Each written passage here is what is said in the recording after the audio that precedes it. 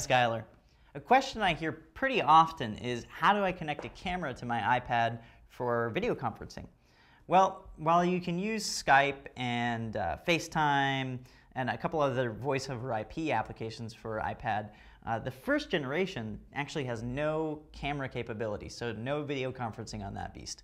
But on the second generation, third generation, fourth generation, and iPad mini, all of them have a FaceTime HD camera on the front of the device, and it's a pretty good camera. Um, the cool thing about it is that it's built in and it works really well. Uh, you don't look bad, so your you know presentation in a meeting will be all right.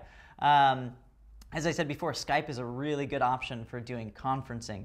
FaceTime is wonderful for communicating with one person or say two people who are in the same room, but it can't connect to multiple users simultaneously.